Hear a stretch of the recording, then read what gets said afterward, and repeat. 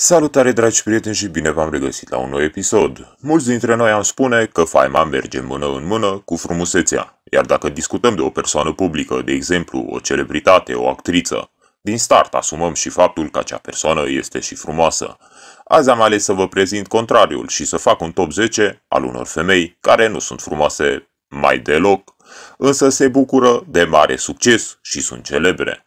Înainte să începem, nu uitați să sprijiniți canalul cu un like și cu o abonare.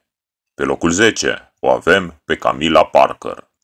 Camila Parker este a doua soție a lui Charles, prințul de Wales, moștenitor al tronului Regatului Unit și a celorlalte 15 tărâmuri ale Commonwealth-ului. Pe locul 9 o avem pe Rosie O'Donnell. O'Donnell este o comediană americană, gazdă de talk show, personalitate de televiziune, blogger celebru și actriță câștigătoare a premiului Emmy. Pe locul 8 o avem pe Jeanette Renault.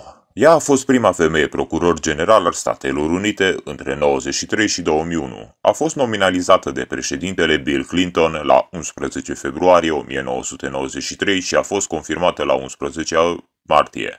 A fost al doilea procuror general cu cea mai lungă funcție după William Wirt. Ea a devenit foarte celebră, rezolvând multe cazuri complexe și nătorii, fiind prezentă mai mereu pe ecranele televizoarelor. Pe locul 7 o avem pe Katie Brook. Katie Brook este o actriță și regizoare de teatru din Anglia. Brooks s-a familiarizat pentru prima dată cu publicul de televiziune ca jucător în roluri minore în schițele unor interpreți mai cunoscuți precum Harry Enfield, Dawn French și Jennifer Saunders. Pe locul 6 o avem pe Rhea Perlman. Perlman este o actriță americană de patru ori câștigătoare a premiului Emmy, cunoscută mai ales pentru rolul ei în De Carla Tortelli și sitcomul Cheers. Este căsătorită cu actorul Danny DeVito, cu care are trei copii. Pe locul 5 o avem pe Whoopi Goldberg. Goldberg este o actriță, comediană, DJ la radio și autor. Este una dintre acele 10 persoane care au câștigat un premiu Emmy și un Grammy și un Oscar.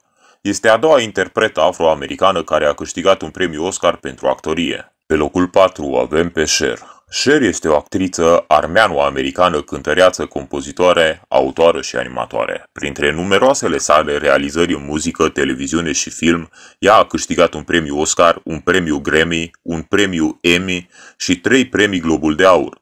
Cher a crescut pentru prima oară în 1965 ca fiind jumătatea din duoul pop rock Sonny and Cher.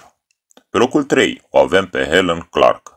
Helen Clark a devenit primul ministru al Noii Zeelande în decembrie 1999. Începând din 2007, revista Forbes a clasat-o drept cea de-a 38-a cea mai puternică femeie din lume. Pe locul 2 o avem pe Sandra Bernhard. Sandra este o comediană americană, actriță, autoare și cântăreață. A câștigat atenția pentru prima oară la sfârșitul anilor 1970 cu comedia sa de stand-up, unde critică adesea cu amărăciune cultura celebrităților și figurile politice. De asemenea, este renumită pentru strânsa prietenie cu Madonna de la sfârșitul anilor 80. Ea este numărul 97 pe lista Comedy Central a celor mai mari 100 de stand-up-uri din toate timpurile. Și pe locul 1 o avem pe Joycelyn Wildenstein. Wildenstein, denumită uneori regina leului sau femeia pisică, este o vedetă bogată care a fost văzută frecvent în presa tabloidă datorită numeroaselor sale operații estetice.